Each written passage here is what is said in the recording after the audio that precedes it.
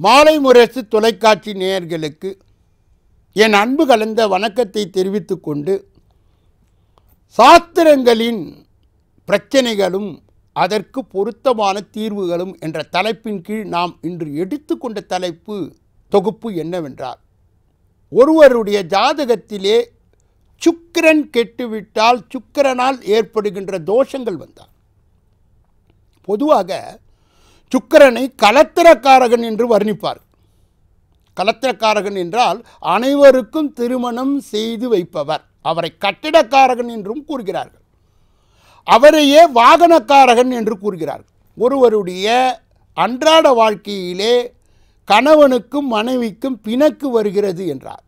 கணவனுக்கும் மனைவிக்கும் அடிக்கடி சண்டை வருகிறது என்றார். மாமியாருக்கும் மருமகளுக்கும் மருமகளுக்கும் மாமியாருக்கும் தொடர்ந்து சண்டை வந்து கொண்டிருந்தார். மர்ம உறுப்புகளே வியாதிகள் வந்தால். கருப்பையானது அங்கே சிதைந்தால் அல்லது அகற்றினால் அல்லது கருப்பையால் ஏதாவது வியாதிகள் வந்தால். மேலும் வாகனங்கள் சுகங்கள் கிடைக்காதவர்கள் கட்டிடங்களுடைய சுகங்கள் கிடைக்காதவர்கள். இது எல்லாமே சுக்கரனால் வருகின்ற தீங்குகள். கலை உலகிலே ஜொலிக்க வேண்டுமென்றால் சுக்கரனுடைய பங்கு நிச்சயமாக இருக்க வேண்டும். அது சின்ன திரையாக இருந்தாலும் சரி பெரிய திரையாக இருந்தாலும் சரி இவருடைய அருளாசி இன்றி அவர்களால் இயக்கமே பெற முடியாது. அப்பொழுது அலங்கார பொருட்களை விற்பவர்கள் நகை ஆபரணங்களை விற்பவர்கள் ஆடைகளை வசீகரமான ஆடைகளை விற்பவர்கள் விலை உயர்ந்த அந்த சென்ட் பெர்ஃப்யூம் என்று சொல்லக்கூடிய வாசனை திரவங்களை விற்பவர்கள் ஏற்றுமதி இறக்குமதி செய்பவர்கள் அனைவரும் சுக்கரனுடைய அருளாசியை பெற்றவர்கள். அந்த சுக்கரனானது ஒரு ஜாதகத்திலே கெட்டுவிட்டால் பெண்களால் கெட்ட பெயர் வரும் பெண்களால் தண்டனை வரும் பெண்களால் அவமானம் வரும் அசிங்கம் வரும் இப்படியெல்லாம் அவர்கள் பாதிக்கப்பட்டு அவர்களுடைய வாழ்க்கையிலே அவர்கள் சறுக்கு நிலையை நோக்கி செல்வார்கள். இப்படிப்பட்டவர்கள் இரண்டு சித்தர்களில் யாராவது ஒருவரை இவர்கள் வணங்கி உற்சாகம் பெறலாம் நிவாரணம் பெறலாம் விடுதலை பெறலாம். அந்த இரு சித்தர்கள் யார் என்று பார்க்கும்போது ஒருவர் கஞ்சமலை சித்தர் இன்னொருவர் சென்னிமலை சித்தர். இந்த கஞ்சமலை சித்தர் என்பவருடைய சுருக்கமான வரலாறை இப்பொழுது நாம் பார்க்கலாம். இவர் மா அந்த காடு மேடுகளிலே அலைந்து திரிந்தவர். இந்த காடு மேடுகளிலே அலைந்து திரிந்த இந்த சித்தர் மிருகங்களிடம் அன்பாக இருந்தார். இவருக்கு நவநாத சித்தர் ஒருவர் வந்து இவருக்கு அனைத்து விஷயங்களையும் கற்றுக் கொடுக்க இவர் சித்து அந்த அட்டமா சித்து என்பதை இவர் கற்றறிந்தார்.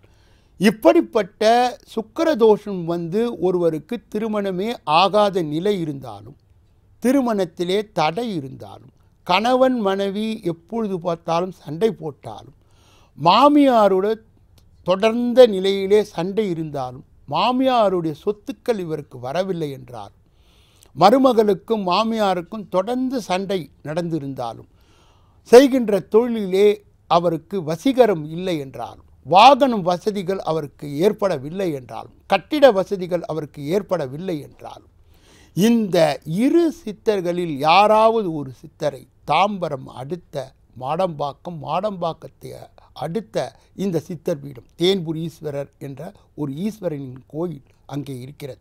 அதற்கு அடுத்த படியாக இருக்கின்ற இந்த சித்தர் பீடத்திலே இரண்டு சித்தர்கள் இருக்கின்றார் ஒரு சித்தருடைய பெயர் சென்னி மலை சித்தர் இன்னொரு சித்தருடைய பெயர் கஞ்சமலை சித்தர். இந்த இரண்டு சித்தர்கள் ஒருவருடைய ஜனன ஜாதகத்திலே சுக்கிரன் கன்னியிலே நீச்சம் பெறும் பொழுது அந்த ஜாதகருக்கு திருமண ஆசையே இருக்காது.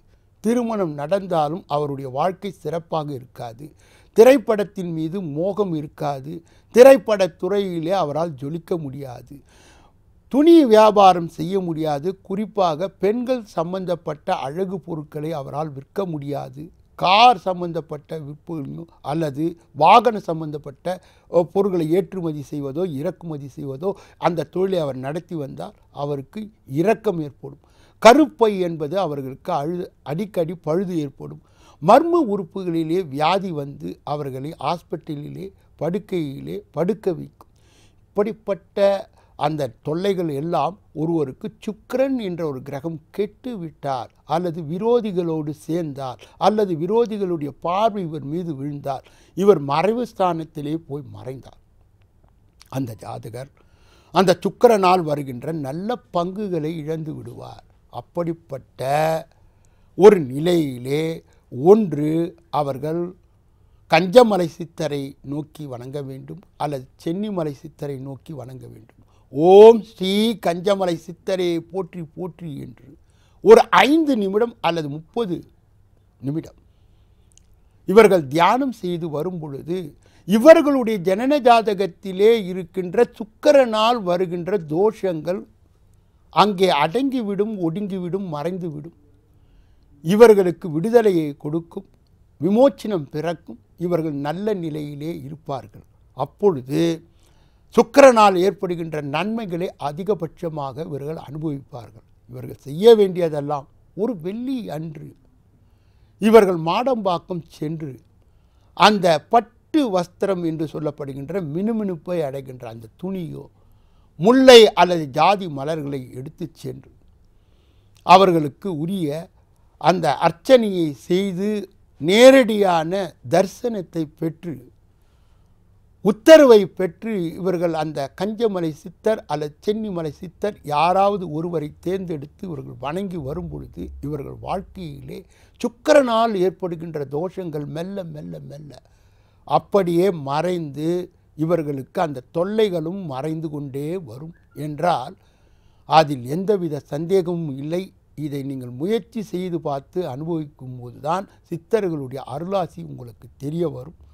என்று சொல்லி இந்த பகுதியை நிறைவு செய்து நாளைய தினம் உங்களை சந்திக்க இருக்கின்றேன். நன்றி வணக்கம்.